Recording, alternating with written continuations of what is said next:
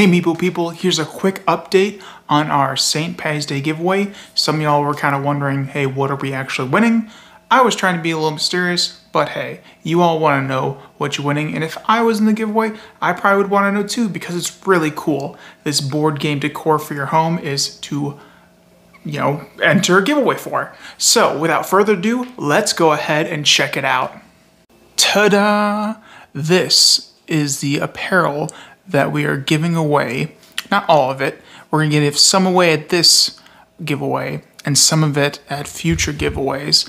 But the winner of our St. Patty's Day giveaway is gonna be able to walk away with one of these kind of like posters, but it's out of cloth um, banners of uh, some board game artwork.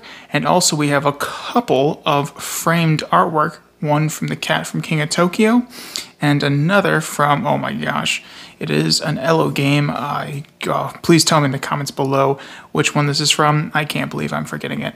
But that is another one of our pieces of artwork that is up for our St. Patty's Day giveaway, and the winner will get to pick. There are a couple other uh, banners that we aren't showing that we have available, but we will discuss more with the winner, and they will get to pick which one they would like to win.